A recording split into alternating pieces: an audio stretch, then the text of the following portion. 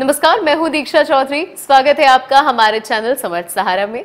आज हम आपको प्रदेश की सभी छोटी बड़ी खबरों से रूबरू कराएँगे। तो चलिए शुरू करते हैं। बड़ौदा तहसील के अंतर्गत आने वाली ग्राम पंचायत मकड़ा बदा में लॉकडाउन में गत दिनों दुकानें खोलने की खबर समर्थ सहारा न्यूज़ पर चली थी।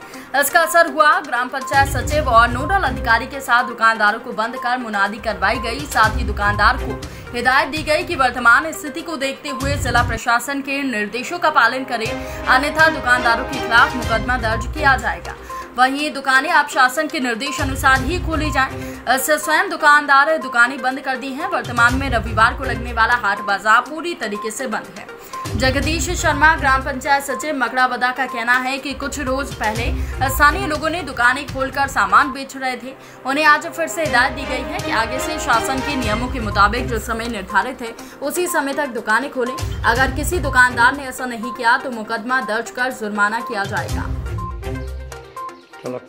मैं ग्राम पंचायत सचिव कुछ चैनल के माध्यम से कल जो हमें सूचना प्राप्त हुई थी कि मतलब किराने की दुकानें वगैरह, बाज़ार वगैरह खुलता है। हो सकता है खुलता हो, लेकिन तुरंत हमारे द्वारा बंद करवा रखा है। लेकिन कुछ दुकानदार द्वारा हमारे आने के बाद में कुछ दुकानें खुली जाती है, उन्हें पूर्णत प्रतिबंध कर दिया गया है। आज भी हम मकड़ौदा कला में भ्रमण करके पूरी तरह मकड़ौदा कला की दुकानें बंद करवा दी गई।